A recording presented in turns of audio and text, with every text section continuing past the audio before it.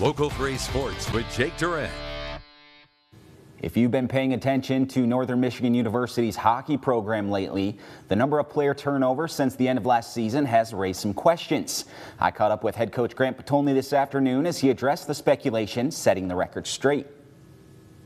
We knew that there was going to be a big turnover this year. With the implementation of the transfer portal back in 2018, college athletics continues to evolve at a rapid pace. It affects all NCAA sports at all levels. We're still trying to figure this out as, as college athletics, you know, not just hockey. You know, there's 69 Division One quarterbacks from Power Five conferences in the portal. Um, we're figuring it out. I think the conversation has to start with a year ago today. Um, we had seven rising juniors that were going to become seniors. Um, we were Andre Ghantous and Mike Van Unen decided to stay back. So now that puts that number nine. And then we, we felt like there was three players that were going to become seniors or were fifth years in the portal. That makes that number seven, 12. Adding to the equation, Potulny says athletes during the COVID season were awarded another year of eligibility. Now, instead of coming into college hockey and getting college athletics, you get you get four, you get um, you get five years to complete four seasons. Now you got five years to complete five seasons, um, and a lot of players uh, are, are, whether it's they're not ready for pro hockey, whether they're not ready to move on in life, whether they're not um, they, they feel like they have unfinished business. There's multiple reasons.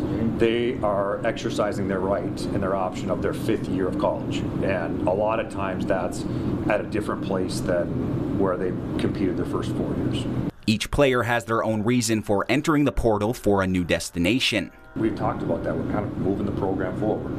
Um, so when you talk about the portal, um, five of those guys that, that are in there are part of that senior class, so they're graduating. Um, there, there's some guys who, who wanted to play more, um, and there's some guys that are using the portal for what it's supposed to be used for, um, different opportunities, and, and, there's a couple surprises. Potulny says portal issues aren't unique to NMU. You know, I, I think we're foolish if if we think that this is a uh, an issue unique to us. You know, it's it's not. There's um, there's first line players at a Big Ten school that made the tournament, first liners that are in the portal.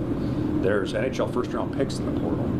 Um, you know, and and it's the portal's not all bad. Like that's the other thing. Like I, I, a year ago, we're one year removed from being 90 seconds away from a championship, we had 10 players in, in, in the portal. The transfer portal isn't going away anytime soon. As any good coach would do, you have to adapt and overcome the challenges in front of you. For us, it, we, we felt like if we were trying to, to re- replicate that every year, trying to find the right pieces, the, you're, at, you're just at the mercy of whoever enters the portal. So the idea for us was that we're, we're going to start with our own and grow our own. Changing the game off the ice will likely mean a different approach in seasons to come. Literally, 12 seniors out, 11 freshmen in. Like, there's a correlation there. And are we going to be young next year? Yeah, but um, I, I, I, love the guys in that room. I love them. I, I, I, think they're incredible people. I think they're very good players. Um, and we got a very good freshman class. And we're going to find some other guys in the portal. Coach Potulny addressed recent rumblings from the Wildcat fan base. A lot of it, too, is outside perception. Um, you know, perception that, you know, we're the sky's falling in northern Michigan. I mean, the sky's not falling. Like we we knew we were going to have a lot of turnover. We are prepared for the turnover.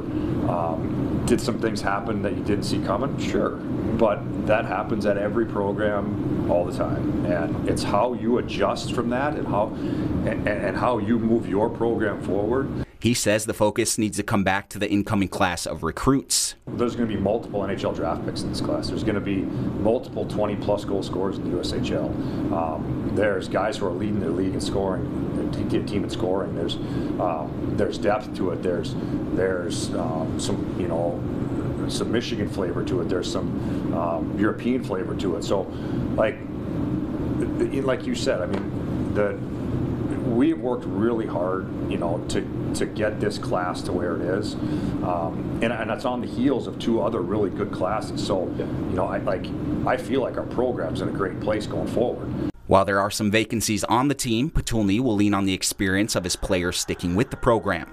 We have two fifth year seniors. Yeah. So we have um, Van Unen and Colby And those guys are coming back as veterans, um, seasoned players. And then we have had, I feel like this is the third good recruiting class we've had in a row. And now some of those guys are going to become juniors. You know, and, and um, you know, our freshmen last year are going to take a step. And there's, there's, you know, some guys who are just kind of coming. And, you know, there's going to be opportunity for role growth for them. Potulny remains optimistic for the future of the program.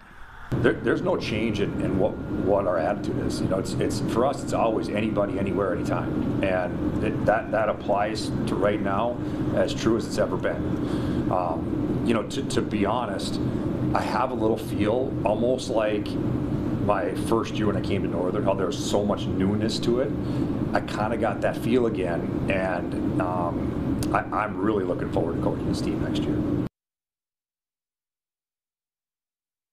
We'll be right back with more Local 3 news in just a few minutes.